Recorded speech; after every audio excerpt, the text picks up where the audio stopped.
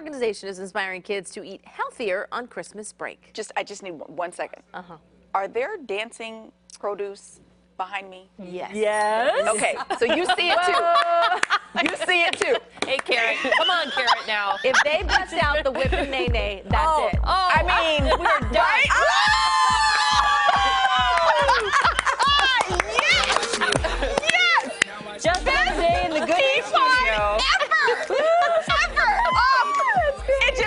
just got real, people. It just got real.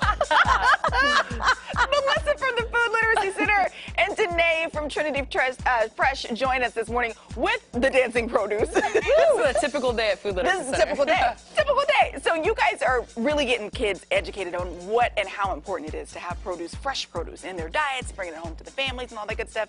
And they actually get to take some stuff home over Christmas break, right? Yeah, we uh, we inspire kids to eat their vegetables. Yeah. We teach cooking and nutrition in, in low-income after-school programs. Mm-hmm. Um, and every year we do a holiday produce drive where we send the kids home with fruits and vegetables so they can practice those healthy habits that we teach them in class. Fantastic. And Trinity Fresh, you guys are donating all this gorgeous produce. Now, this is some of the stuff that some of these kids probably have never even had before. So, so like the persimmons and, and the beets. How, how do you get kids to eat beets? Uh, well, food literacy is really awesome Yeah. at educating them, showing them stuff that they maybe have never seen, and then showing them how to use it. Right. So we're happy to provide that. We're super excited. Um, little kids with big giant grocery bags Yeah. full of stuff going home for the holidays.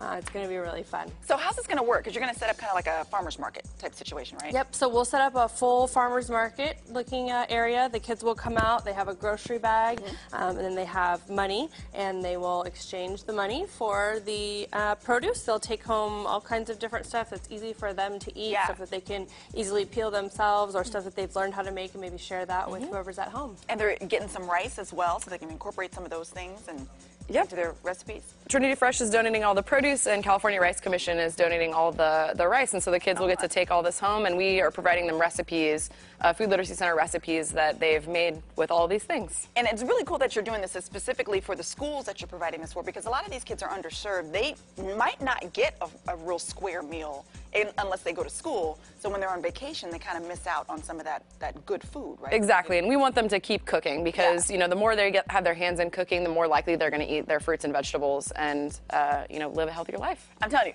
if I had a pea pod and a carrot and an apple in my life that was that made me this happy, when I was eight years old,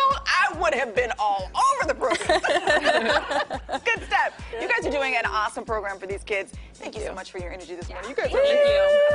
amazing. We're going to link the information to Food Literacy Center to our website as well as Trinity Fresh at uh, gooddaysacramento.com. Show information, today's date, and more deets are on the website. Love that. Now make like a veggie and dance. Right. Now make like a veggie and dance. Right? Where have they been all our lives? Ah! So cute. Boston blue. Yeah. That's good stuff.